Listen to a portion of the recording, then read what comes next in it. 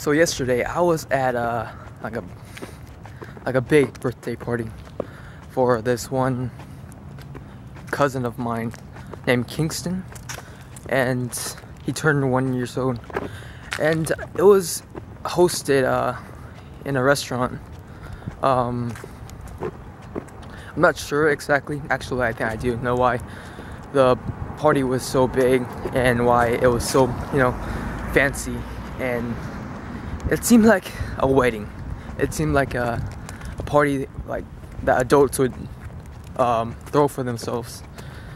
Um, very adult-like, I'd say. Uh, so, like it was crazy. A lot of people were there.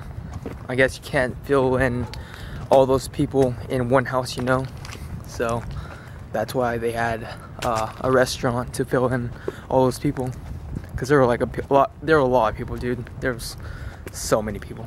Um, i think the reason why they made it so big for that one baby because you know a big fantasy party like that doesn't really suit a one year old baby.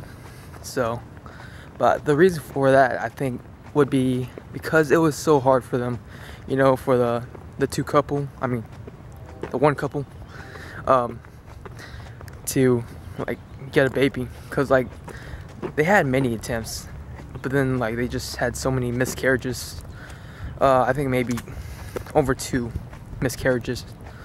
Uh, and it really means a lot to them that they their their their one baby turned one years old you know so they really want to celebrate that because like it's just i know how they feel if my wife had like a bunch of miscarriages, I'd I'd be heartbroken.